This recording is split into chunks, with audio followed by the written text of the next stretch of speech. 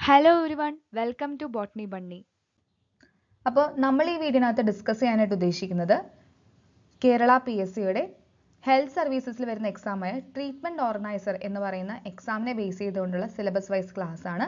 അപ്പോൾ കഴിഞ്ഞ ക്ലാസ്സിൽ നമ്മൾ എയർബോൺ ഇൻഫെക്ഷൻ കൺട്രോൾ കിറ്റ് എന്താണ്? അതിന്റെ ഒരു ഇൻട്രൊഡക്ഷൻ ഒക്കെ നമ്മൾ നോക്കിയിട്ടുണ്ടായിരുന്നു. അപ്പോൾ ഈ ക്ലാസ് കാണുമ്പോൾ ആ ക്ലാസ് കണ്ടിട്ട് മാത്രം ഇങ്ങോട്ട് വരാനായിട്ട് ശ്രദ്ധിക്കുക. അപ്പോൾ ഈ ക്ലാസ്സിൽ നമ്മൾ ഡിസ്കസ് ചെയ്യാനായിട്ട് പോകുന്നത് എയർബോൺ ഇൻഫെക്ഷൻ കൺട്രോൾ കിറ്റ് എന്താണ്? അതുപോലെ അതുമായിട്ട് ബന്ധപ്പെട്ട ചില ഫാക്ട്സ് ഒക്കെയാണ് നമ്മൾ ഈ ക്ലാസ്സിൽ ഡിസ്കസ് ചെയ്യാനായിട്ട് പോകുന്നത്. അപ്പോൾ നമ്മുടെ ചാനൽ ഇതുവരെയും സബ്സ്ക്രൈബ് ചെയ്യാത്തവരൊക്കെ ഉണ്ടെങ്കിൽ ചാനൽ ഒന്ന് സബ്സ്ക്രൈബ് ചെയ്യണേ. ഒപ്പം തന്നെ ബെൽ ബട്ടൺ അമർത്തുക അവിടെ ഓൾ എന്നുള്ള ഓപ്ഷൻ എനേബിൾ ചെയ്യാനായിട്ട് നിങ്ങൾ മറക്കരുത്. അപ്പോൾ നമ്മുടെ ക്ലാസ്സുകളുടെ പി ഡി എഫിനായിട്ടും ഡെയിലി പ്രാക്ടീസ് ക്വസ്റ്റ്യൻസിനായിട്ടൊക്കെ ടെലിഗ്രാം ചാനലിൽ ജോയിൻ ചെയ്താൽ മതി.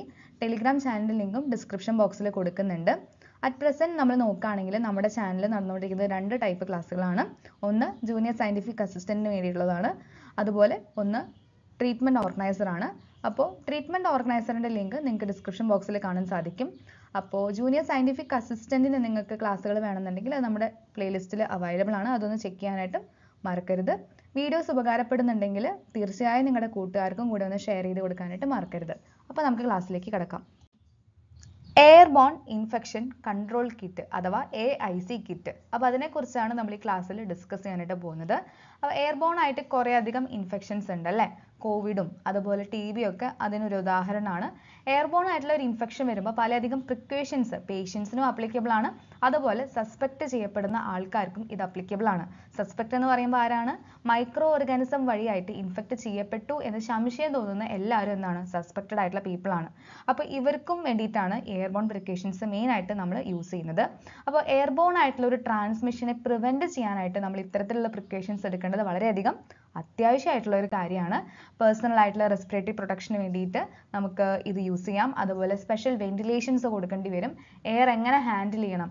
അപ്പോൾ ഇൻഫെക്റ്റഡ് ആയിട്ടുള്ള ഒരു എയറിനെ നമ്മൾ എങ്ങനെ ഹാൻഡിൽ ചെയ്യണം? ഇതൊക്കെയാണ് നമ്മൾ എയർബോൺ ഇൻഫെക്ഷൻ കൺട്രോളിൽ മെയിനായിട്ട് പഠിക്കുന്നത്.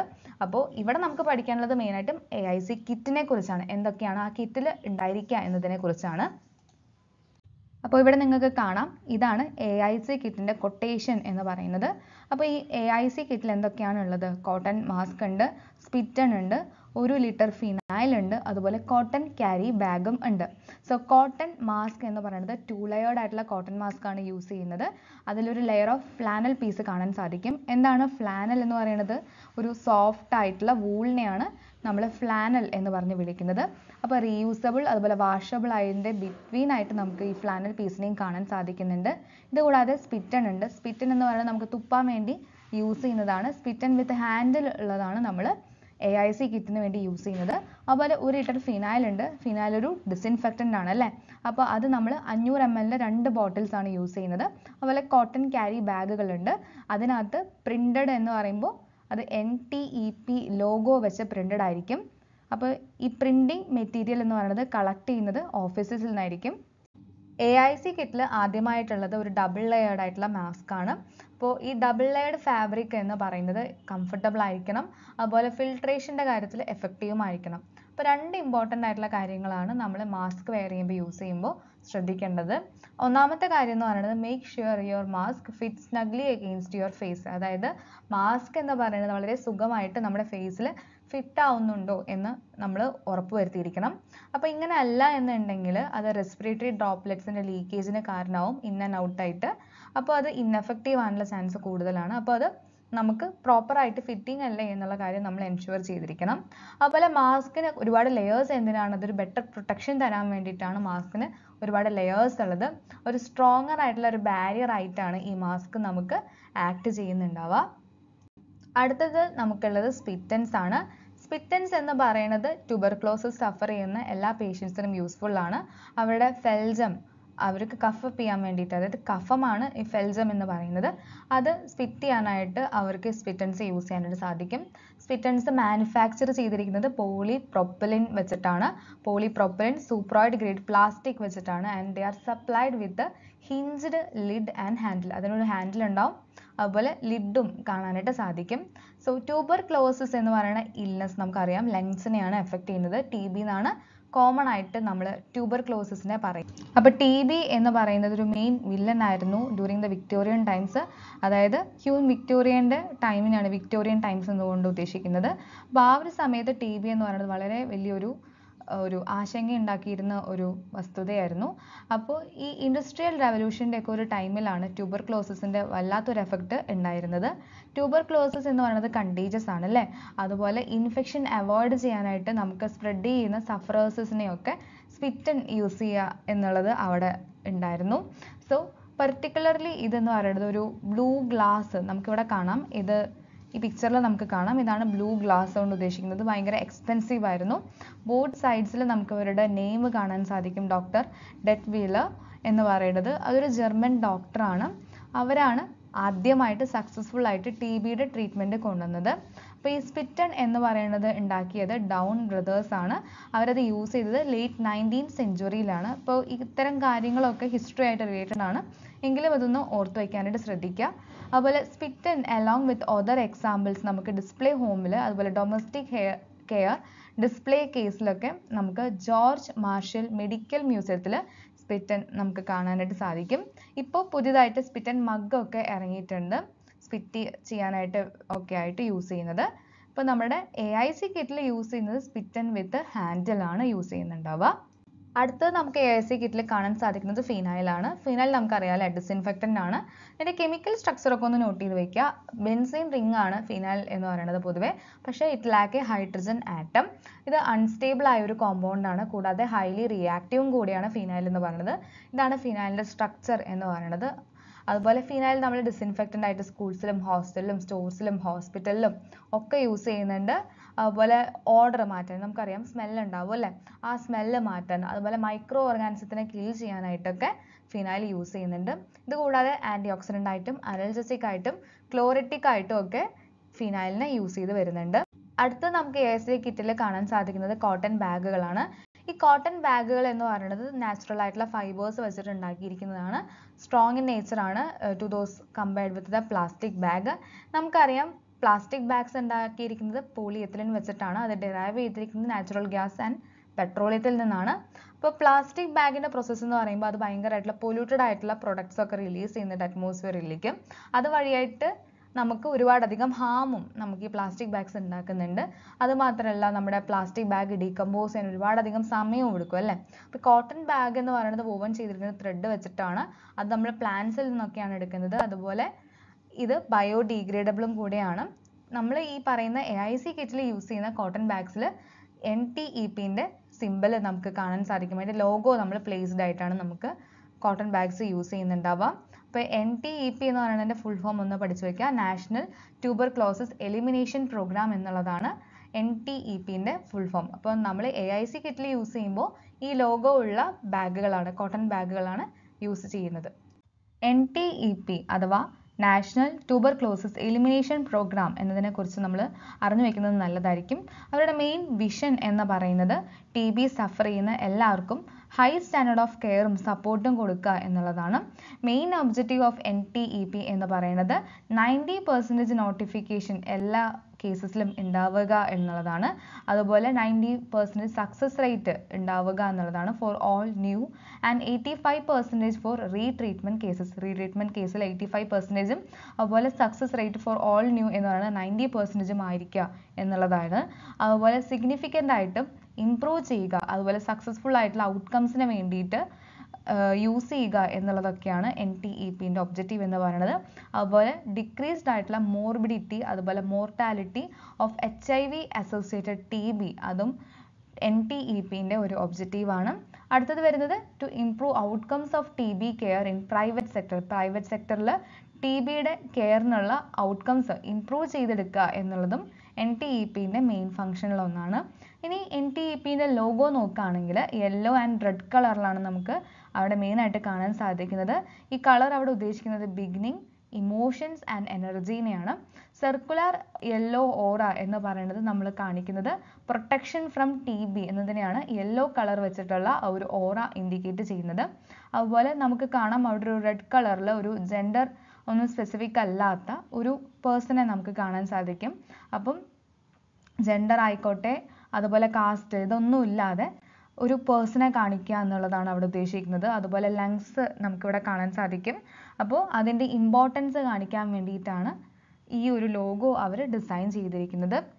അപ്പോൾ ടി ബി മുക്ത് ഭാരത് എന്നുള്ള ഒരു മോട്ടീവ് വെച്ചിട്ടാണ് national tuberculosis elimination programme work ചെയ്യുന്നത്.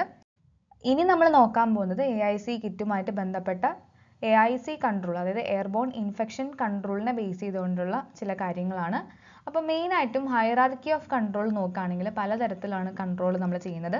അപ്പോൾ ഏത് സെലക്ട് ചെയ്യും അതുപോലെ ഏത് combination of control methods use ചെയ്യും എന്നുള്ളത് ആ രാജ്യത്തുള്ള അല്ലെങ്കിൽ ആ ഒരു സ്പേസിലുള്ള ഇൻഫെക്ഷൻ കൺട്രോളിന്റെ അസസ്മെന്റും അതുപോലെ ലോക്കൽ എപ്പിഡമിയോളജിക്കൽ അതുപോലെ ക്ലൈമറ്റിക് സോഷ്യോ എക്കണോമിക് കണ്ടീഷൻസിനൊക്കെ ബേസ് ചെയ്തുകൊണ്ടായിരിക്കും എത്തരത്തിലുള്ള ഒരു കൺട്രോൾ മെത്തേഡാണ് ഇവിടെ യൂസ് ചെയ്യേണ്ടത് എന്ന് സെലക്ട് ചെയ്യുകയും അതിനെ പ്രാവർത്തികമാക്കുകയൊക്കെ ചെയ്യുന്നത്. അതിലൊന്നാണ് അഡ്മിനിസ്ട്രേറ്റീവ് കൺട്രോൾ എന്ന് പറയുന്നത്. എന്താണ് അഡ്മിനിസ്ട്രേറ്റീവ് കൺട്രോൾ എന്ന് പറയുന്നത്? റെസ്പിറേറ്ററി സിസ്റ്റമിൽ എന്തെങ്കിലും ഒരു സിംറ്റം കാണിക്കുന്ന എന്തെങ്കിലും റെസ്പിറേറ്ററി സിംറ്റംസ് കാണിക്കുന്ന പേഴ്സൺസിനെ ഐഡന്റിഫൈ ചെയ്യുക. അവരെ അപ്രോപ്രിയേറ്റ് ആയിട്ടുള്ള എൻവയോൺമെന്റിലോട്ട് സെപ്പറേറ്റ് ചെയ്യുക. അവരെ ഫാസ്റ്റ് ട്രാക്ക് ചെയ്തുകൊണ്ട് തന്നെ ഹെൽത്ത് കെയർ ഫെസിലിറ്റീസ് അവർക്ക് കൊടുക്കുക. എക്സ്പോഷർ ടൈം മറ്റുള്ളവരുമായിട്ട് ഈ എഫക്റ്റഡ് ആയിട്ടുള്ള പേഴ്സണിൽ നിന്നും ഉണ്ടാവുന്നത് റെഡ്യൂസ് ചെയ്യുക. അതുപോലെ മിനിമൽ ഡിലേ ഡിലേ ഒന്നും ഇല്ലാതെ നമുക്ക് ഇവരെ ഡയഗ്നോസ് ചെയ്യാനും ട്രീറ്റ് ചെയ്യാനായിട്ടും സാധിക്കുക എന്നുള്ളതാണ്. ഹോസ്പിറ്റലൈസേഷൻ എന്ന് പറയുന്നത് റെഡ്യൂസ് ചെയ്യുക അല്ലെങ്കിൽ അവോയ്ഡ് ചെയ്യുക എന്നുള്ളതാണ് മെയിൻ ആയിട്ടുള്ള കാര്യം. അപ്പോൾ ഫെസിലിറ്റി ലെവലിൽ നോക്കുകയാണെങ്കിൽ അഡ്മിനിസ്ട്രേറ്റീവ് കൺട്രോളിന് വലിയൊരു റോൾ തന്നെയുണ്ട്. നമ്മുടെ ടി ബിയുടെ ട്രാൻസ്മിഷന്റെ റിസ്ക് കുറയ്ക്കുന്നതിന് വളരെയധികം മേജർ റോൾ ഉള്ളത് ആർക്കാണ്? അഡ്മിനിസ്ട്രേറ്റീവ് കൺട്രോൾസിനാണ് അപ്പോൾ അതുവഴിയായിട്ട് മറ്റ് കൺട്രോൾ മെത്തേഡ്സിനെയൊക്കെ ഇംപ്ലിമെന്റ് ചെയ്യാനായിട്ട് സാധിക്കുന്നുണ്ട്. അതിന് ഉദാഹരണമാണ് എൻവയോൺമെന്റൽ കൺട്രോളും അതുപോലെ പേഴ്സണൽ പ്രൊട്ടക്റ്റീവ് എക്യുപ്മെന്റും ഓക്കെ അപ്പോൾ അഡ്മിനിസ്ട്രേറ്റീവ് കൺട്രോളിനാണ് ഈ റെഡ്യൂസ് ചെയ്യാനായിട്ട് ടി ബി ട്രാൻസ്മിഷന്റെ റിസ്ക് റെഡ്യൂസ് ചെയ്യാനുള്ള മെയിൻ റോൾ വഹിക്കുന്നത്. അപ്പോൾ അടുത്തത് എന്താണ്? എൻവയോൺമെന്റൽ കൺട്രോൾ ആണ്. സോ ചോയ്സ് ഓഫ് എൻവയോൺമെന്റൽ കൺട്രോൾ എന്ന് പറയുന്നത് ലാർജ് ആയിട്ടും ഡിറ്റർമൈൻ ചെയ്യുന്നത് ലോക്കൽ ഫാക്ടേഴ്സും റിസോഴ്സസും ഒക്കെയാണ്. വെന്റിലേഷൻ എന്ന് പറയുന്നത് വളരെയധികം പ്രയോറിറ്റൈസ് ചെയ്യേണ്ടതാണ്. To reduce the number of infectious particle in air ventilation വളരെയധികം ഇമ്പോർട്ടന്റ് ആണ്. എഫക്റ്റീവായ വെന്റിലേഷൻ നമുക്ക് അച്ചീവ് ചെയ്യുന്നത് നാച്ചുറലായ വെന്റിലേഷൻ വഴിയായി തന്നെയാണ്. അപ്പോൾ ഹൈ റിസ്ക് സെറ്റിങ്ങിലൊക്കെ നോക്കുകയാണെങ്കിൽ ഒപ്റ്റിമൽ വെന്റിലേഷൻ എന്ന് പറയുന്നത് achieved ആയിട്ടുണ്ടാവില്ല through natural or mechanically aided means അപ്പോൾ റിസ്ക് അവിടെയാണ് വരുന്നത്. അതുകൊണ്ട് തന്നെ പ്രോപ്പർലി ഡിസൈൻഡ് ആയിട്ടുള്ള അല്ലെങ്കിൽ പ്ലേസ്ഡ് ആയിട്ടുള്ള മെയിന്റെയിൻഡ് ആയിട്ടുള്ള shielded ultra violet germicidal irradiation devices ഒക്കെ നമ്മൾ കോംപ്ലിമെന്ററി കൺട്രോൾ ആയിട്ട് യൂസ് ചെയ്യേണ്ടതായിട്ട് വരുന്നുണ്ട്. എന്താണ്? Ultra violet germicidal irradiation devices ഒക്കെ വെച്ചിട്ടാണ് അവിടെ കോംപ്ലിമെന്ററി കൺട്രോൾ ആയിട്ട് നമ്മൾ യൂസ് ചെയ്യുന്നുണ്ടാവുക അടുത്തത് പേഴ്സണൽ പ്രൊട്ടക്റ്റീവ് എക്യുപ്മെന്റ് ആണ്. പേഴ്സണൽ പ്രൊട്ടക്റ്റീവ് എക്യുപ്മെന്റിന് എക്സാമ്പിളാണ് എൻ നയന്റി ഫൈവ് ഒക്കെ. അപ്പോൾ ഇവിടെ ഈ ഒരു കണ്ടീഷനിൽ ഹൈ റിസ്ക് സിറ്റുവേഷനിൽ ഈ പറയുന്ന പേഴ്സണൽ പ്രൊട്ടക്റ്റീവ് എക്യുപ്മെന്റ്സ് ഒക്കെ നമ്മുടെ കയ്യിൽ ഉണ്ടായിരിക്കേണ്ടത് അത്യാവശ്യമാണ്. എസ്പെഷ്യലി ഡ്രഗ് റെസിസ്റ്റന്റ് ആയിട്ടുള്ള ട്യൂബർക്ലോസിസിന്റെ കേസിൽ അതുപോലെ ഹൈ റിസ്ക് എയറോസോൾ ജനറേറ്റിംഗ് പ്രൊസീജിയേഴ്സിന്റെ കേസിലൊക്കെ ബ്രോഞ്ചോസ്കോപ്പി സ്പ്യൂട്ടം ഇൻഡക്ഷൻ ഈ കേസസിലൊക്കെ നമുക്ക് പേഴ്സണൽ പ്രൊട്ടക്റ്റീവ് എക്യുപ്മെൻസിന്റെ ആവശ്യം വളരെയധികം ഇമ്പോർട്ടന്റ് ആണ്. ഇനി components of personal protective equipments നോക്കുകയാണെങ്കിൽ ഗ്ലൗസ് വരുന്നുണ്ട് ഗൗൺസ് വരുന്നുണ്ട് ഷൂ കവേഴ്സ് വരുന്നുണ്ട് ഹെഡ് കവേഴ്സ് വരുന്നുണ്ട് mask respirators eye protection face shield goggles ഇതൊക്കെ എന്താണ്? പേഴ്സണൽ പ്രൊട്ടക്റ്റീവ് എക്യുപ്മെന്റിന്റെ കമ്പോണൻസ് ആണ്. ഇനി എങ്ങനെയാണ് നാഷണൽ ആയിട്ടും സ്റ്റേറ്റ് ആയിട്ടും ഹോസ്പിറ്റൽ അഡ്മിനിസ്ട്രേഷൻ അതുപോലെ ലോക്കൽ ഹെൽത്ത് ഓഫീഷ്യൽസിന്റെയൊക്കെ മാനേജറൽ ആക്ടിവിറ്റീസ് എന്നുള്ളതാണ് നോക്കാൻ പോകുന്നത്. മാനേജറൽ ആക്ടിവിറ്റീസ് ഇവിടെ എൻഷുർ ചെയ്യുന്നത് പൊളിറ്റിക്കൽ കമ്മിറ്റ്മെന്റും അതുപോലെ leadership at all level national ആയിക്കോട്ടെ സ്റ്റേറ്റ് ആയിക്കോട്ടെ ഡിസ്ട്രിക്ട് ഫെസിലിറ്റി ലെവൽ എല്ലാവരെയും എങ്ങനെയാണ് ഈ ഒരു മാനേജറൽ ആക്ടിവിറ്റി കൊണ്ടുപോകുന്നത് എന്നുള്ളതാണ് നോക്കുന്നത്. ഇനി managerial activities are based on public health principles and it represent the foundation of any public health programme so public ഹെൽത്തിന് വേണ്ടിയിട്ടുള്ളതാണ് മെയിനായിട്ടും ഈ മാനേജറൽ ആക്ടിവിറ്റീസ് എന്ന് പറയുന്നത്. ഫെസിലിറ്റി ലെവൽ മാനേജറൽ ആക്ടിവിറ്റി എന്ന് പറയുന്നത് കോംപ്ലിമെന്റ് ചെയ്യേണ്ടതായിട്ടുണ്ട്. നാഷണൽ സ്റ്റേറ്റ് ഡിസ്ട്രിക്ട് ലെവലായിട്ടുള്ള മാനേജറൽ ആക്ടിവിറ്റീസ് ആയിട്ട് കോംപ്ലിമെന്റ് ചെയ്തിട്ടാണ് നമുക്ക് കാണാൻ സാധിക്കുന്നത്. അതുവഴിയായിട്ട് സപ്പോർട്ട് ചെയ്യാനും ഫെസിലിറ്റേറ്റ് ചെയ്യാനും ഇംപ്ലിമെന്റ് ചെയ്യാനായിട്ടൊക്കെ സാധിക്കുന്നുണ്ട്. അപ്പോൾ national airborne infection control committee അതാണ് N A I C C എന്ന് പറയുന്നത് അപ്പോൾ ഈ ഫുൾ ഫോംസ് ഒക്കെ ഒന്ന് നോട്ട് ചെയ്ത് വെക്കുക. അപ്പോൾ ഇതാണ് മൾട്ടി ലാറ്ററൽ ആയിട്ടുള്ള നാഷണൽ ലെവൽ കോർഡിനേറ്റിംഗ് ബോഡി എന്ന് പറയുന്നത്. So to develop these national guide lines and to provide technical guidance for their implementation evaluation and revisions നമുക്ക് ഈ പറയുന്ന നാഷണൽ എയർബോൺ ഇൻഫെക്ഷൻ കൺട്രോൾ കമ്മിറ്റീനെ കാണാൻ സാധിക്കും. And this committee would be providing guidance to all partners during regular meetings and would review and monitor the activities periodically so ഈ national airborne infection control കമ്മിറ്റിയാണ് ആവശ്യത്തിനുള്ള ഗൈഡൻസും അതുപോലെ റെഗുലർ ആയിട്ടുള്ള meetings ഒക്കെ content ചെയ്തിട്ട് അതിന്റെ റിവ്യൂ ഇതുവരെ ചെയ്തതിന്റെ പ്രവർത്തനങ്ങളുടെ റിവ്യൂ അതുപോലെ എന്തൊക്കെ ആക്ടിവിറ്റീസ് നടക്കുന്നുള്ള മോണിറ്റർ ചെയ്യാനായിട്ട് പീരിയോഡിക്കലായിട്ട് ഇവർ ഈ കമ്മിറ്റി ഫോർമേഷൻ വഴിയായിട്ട് സാധിക്കുന്നുണ്ട്.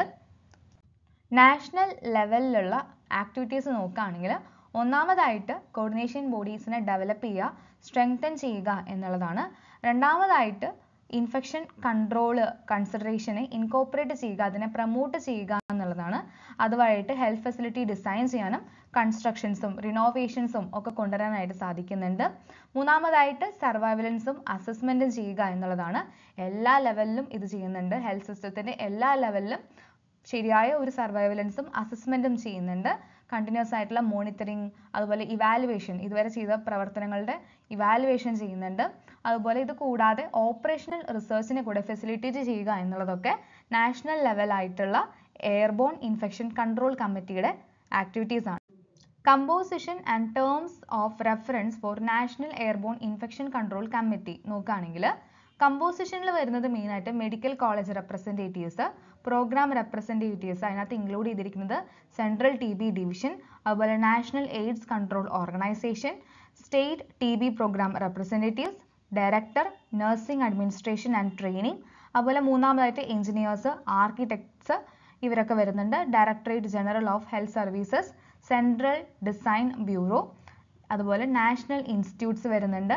National centre for disease control N C D C അപ്പോൾ ഈ ഒരു ഫുൾ ഫോം ഒക്കെ ഒന്ന് നോട്ട് ചെയ്ത് വെക്കുക. മേ ബി ക്വസ്റ്റ്യൻ പേപ്പറിൽ ചോദിക്കാൻ ചാൻസ് കൂടുതലാണ്.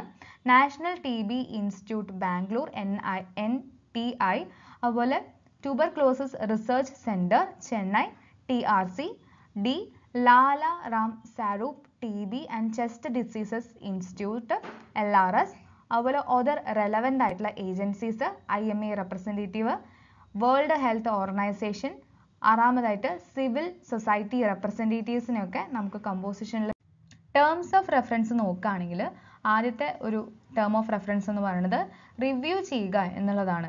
ഇന്റർനാഷണൽ ആയിട്ടുള്ള ഗൈഡ് ലൈൻസിനെ റിവ്യൂ ചെയ്യുക. ബെസ്റ്റ് പ്രാക്ടീസസ് ഏതൊക്കെയാണെന്ന് മനസ്സിലാക്കുക.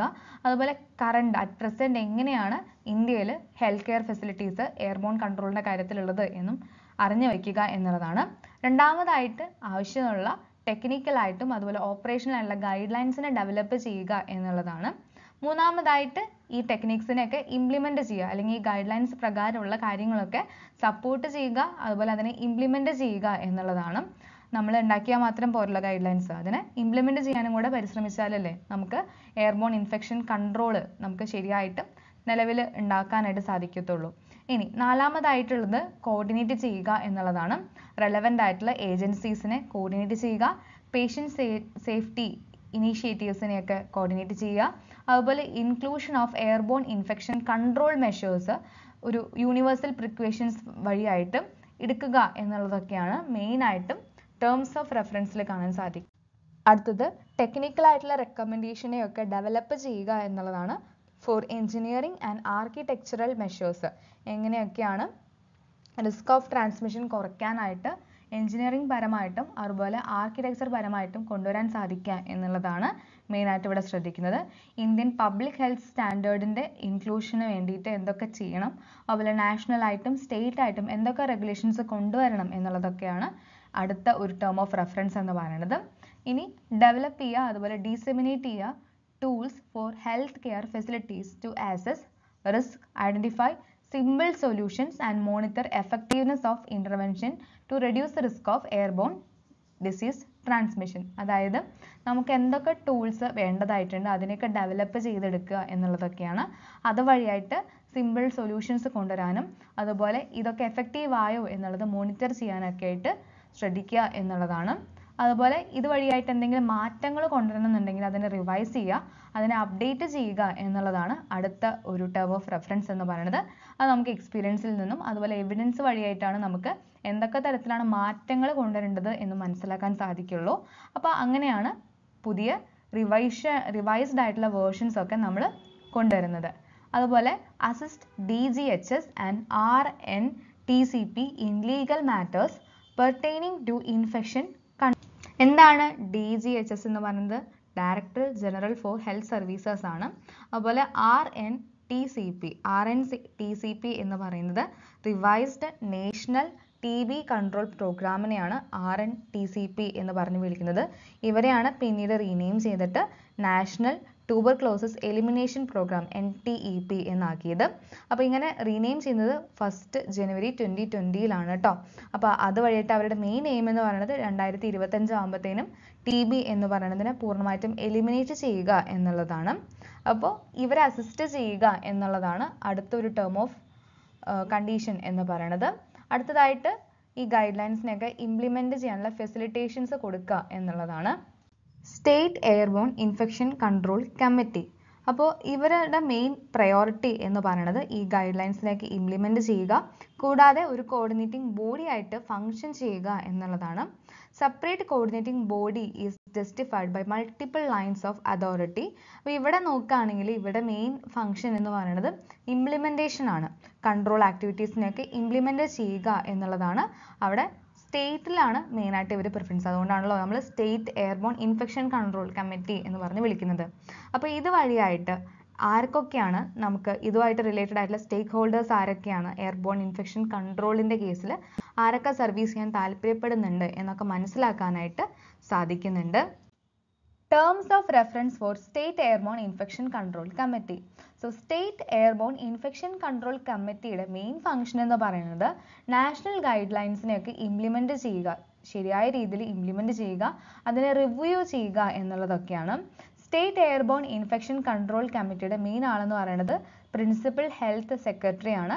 ഇവർ എസ്റ്റാബ്ലിഷ് ചെയ്യുന്ന എല്ലാ ആക്ടിവിറ്റീസും എന്ന് പറയുന്നത് under N R H M ആയിരിക്കും. അതായത് നാഷണൽ റൂറൽ ഹെൽത്ത് മിഷന്റെ അണ്ടറിലായിരിക്കും ഇവരുടെ ആക്ടിവിറ്റീസ് ഒക്കെ കോർഡിനേറ്റ് ചെയ്യപ്പെടുന്നത്. ഈ കോർഡിനേഷൻ കമ്മിറ്റി മീറ്റിംഗ്സ് ഒക്കെ ക്വാർട്ടർലി ബേസിസിലാണ് ഇവിടെ കണ്ടക്ട് ചെയ്യുന്നുണ്ടാവുക. ഇവിടെ നിങ്ങൾക്ക് സ്റ്റേറ്റ് എയർബോൺ ഇൻഫെക്ഷൻ കൺട്രോൾ കമ്മിറ്റിയുടെ കമ്പോസിഷൻ കാണാം.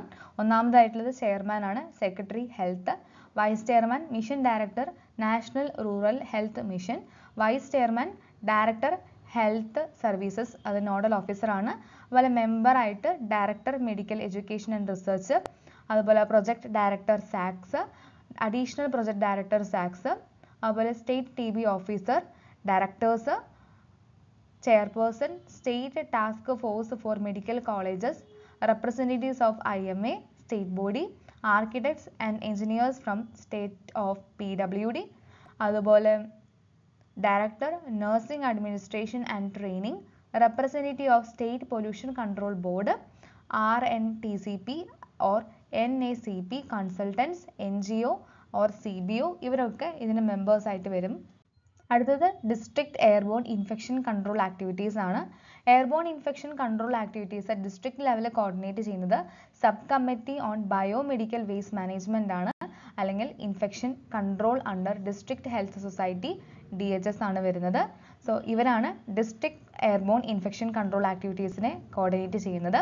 ഇവരുടെ ഫംഗ്ഷൻ എന്ന് പറയുന്നത് under guidance and close coordination with നമ്മുടെ സ്റ്റേറ്റ് എയർബോൺ ഇൻഫെക്ഷൻ കൺട്രോൾ കമ്മിറ്റിയുമായിട്ട് റിലേറ്റഡ് ആയിട്ടും അതുപോലെ state health society and with T B sub committee under D H S N R H M ഇവരുടെ അണ്ടറിലായിരിക്കും ഈ പറയുന്ന district airborne infection control activities ഒക്കെ നടക്കുന്നുണ്ടാവുക.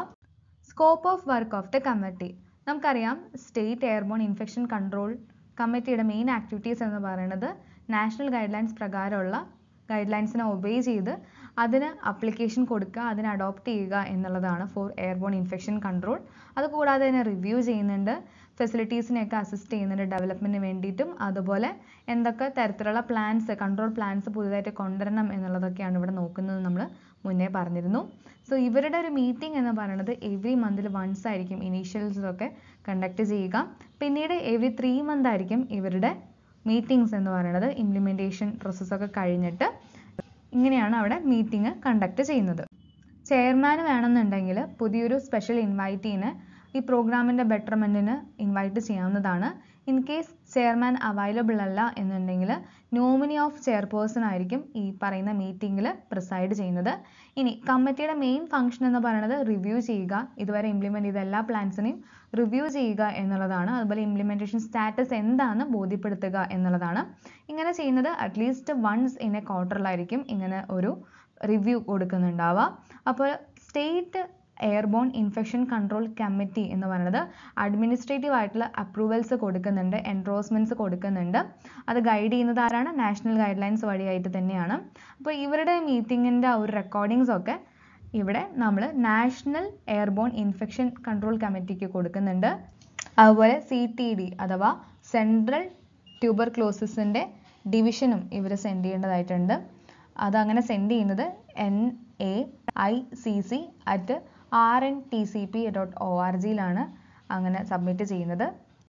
Based on the discussion risk assessment റിപ്പോർട്ടുകളും റെക്കമെൻഡേഷൻസും ഫീഡ്ബാക്കും ഒക്കെ തന്നെയും നമ്മൾ സെൻഡ് ചെയ്യുന്നുണ്ടാവും. അതുവഴിയായിട്ട് പുതിയ ഇമ്പ്രൂവ്മെന്റ്സ് എന്തൊക്കെ കൊണ്ടുവരണം അഡ്മിനിസ്ട്രേറ്റീവ് കൺട്രോളിലായിക്കോട്ടെ എൻവയോൺമെന്റൽ കൺട്രോളിലായിക്കോട്ടെ പേഴ്സണൽ പ്രൊട്ടക്റ്റീവ് എക്യുപ്മെൻസിന്റെ കേസിലായിക്കോട്ടെ എന്തൊക്കെ തരത്തിലുള്ള അഡ്വാൻസസ് കൊണ്ടുവരണം എന്നുള്ളത് ഇവിടെ നമ്മൾ ഡിസ്കസ് ചെയ്യുന്നുണ്ടാവും. അതുവഴിയായിട്ട് ഈ മീറ്റിങ്സിന്റെ ഒക്കെ മോണിറ്ററിംഗ് ഒക്കെ ചെയ്തിട്ട് അത് നമ്മൾ സെൻട്രൽ ടി ബി ഡിവിഷനിലേക്ക് പ്രൊവൈഡും ചെയ്യുന്നുണ്ട്. ക്വസ്റ്റ്യൻ പ്രാക്ടീസ് സെക്ഷൻസ് വെക്കാനായിട്ട് മോക്ക് ടെസ്റ്റ് കണ്ടക്ട് ചെയ്യാനായിട്ടൊക്കെ ഒരുപാടധികം റിക്വസ്റ്റ് വന്നിരുന്നു. അപ്പോൾ നമ്മളിപ്പോൾ തൽക്കാലം എല്ലാ ക്ലാസ്സുകളും എടുത്ത് തീർക്കുകയാണ് അപ്പോൾ അതിനോടൊപ്പം തന്നെ എല്ലാ വീഡിയോ തന്നെ അവസാനമായിട്ട് നമ്മൾ ഒന്ന് രണ്ട് ക്വസ്റ്റ്യൻസ് പ്രൊവൈഡ് ചെയ്യാമെന്ന് വിചാരിക്കുന്നുണ്ട്. അപ്പോൾ ഈ സെഷന്റെ പേര് ടെസ്റ്റ് യുവർ സെൽഫ് എന്നുള്ളതാണ്. അപ്പോൾ നിങ്ങൾക്ക് സ്വയം ഒന്ന് ഇവാലുവേറ്റ് ചെയ്യാനായിട്ട് ഈ സെഷൻസ് ഉപകാരപ്പെടുമെന്ന് വിചാരിക്കുന്നു. അപ്പോൾ ഇന്നത്തെ ക്ലാസ്സിനെ ബേസ് ചെയ്തുകൊണ്ട് മാത്രമാണ് ഇപ്പോൾ നമ്മൾ ഒന്ന് രണ്ട് ക്വസ്റ്റ്യൻസ് ഡിസ്കസ് ചെയ്യാനായിട്ട് പോകുന്നത്. ഇനി വരുന്ന ക്ലാസ്സിലും നമ്മൾ ഇതുപോലത്തെ ക്വസ്റ്റ്യൻ സെഷൻസ് ആ വീഡിയോയുടെ എൻഡിലായിട്ട് ഇൻക്ലൂഡ് ചെയ്യുന്നതായിരിക്കും. Spittoons are manufactured with option A polythene option B polyethylene terephthalate option option polypropylene option D polycarbonates ഇതിന്റെ ശരിയായ ഉത്തരം നിങ്ങൾ കമന്റ് ബോക്സിൽ ഒന്ന് കമന്റ് ചെയ്യാനായിട്ട് മറക്കരുത്. Components of personal protective equipment does not include option A respirators option B face shields option C goggles option D ഫിനാൽ personal protective equipment കമ്പോണന്റിൽ include ചെയ്യപ്പെടാത്തത് ഏത് എന്നുള്ളതാണ് ചോദ്യം. സോ ഇതിന്റെ ഉത്തരവും നിങ്ങൾക്ക് വീഡിയോയ്ക്ക് താഴെ കമന്റ് ചെയ്യാം. Question number one and two എന്ന് മെൻഷൻ ചെയ്ത് തന്നെ നിങ്ങളുടെ ഉത്തരങ്ങൾ സ്പെസിഫൈ ചെയ്ത് എഴുതാനായിട്ട് മറക്കാതിരിക്കുക. അടുത്ത ക്ലാസ്സിൽ ടെസ്റ്റ് യുവർ സെൽഫ് സെക്ഷനിൽ നമ്മൾ ഇതിന്റെ ആൻസേഴ്സ് ഡിസ്കസ് ചെയ്യുന്നതായിരിക്കും. നമ്മൾ ഇന്ന് ഇട്ട ക്ലാസ്സിനെ ബേസ് ചെയ്തുകൊണ്ട് മാത്രമാണ് ഈ രണ്ട് ക്വസ്റ്റ്യൻസ് നമ്മൾ സെലക്ട് ചെയ്തിരിക്കുന്നത്. അപ്പോൾ നമ്മുടെ ക്ലാസ് ശ്രദ്ധിച്ച് കണ്ടിട്ടുള്ളവർക്ക് ഈ ക്വസ്റ്റ്യൻസ് ഈസി ആയി തന്നെ ആൻസർ ചെയ്യാനായിട്ട് സാധിക്കും. അപ്പോൾ ഇൻ കേസ് ആർക്കെങ്കിലും എന്തെങ്കിലും ഡൗട്ട് ഉണ്ടെങ്കിൽ ഈ വീഡിയോ ഒന്നും കൂടെ മുഴുവനായിട്ട് കാണാനായിട്ട് ശ്രദ്ധിക്കുക. എന്നിട്ട് നിങ്ങളുടെ ആൻസേഴ്സ് കമന്റ് ചെയ്യാനായിട്ട് ശ്രദ്ധിക്കുക.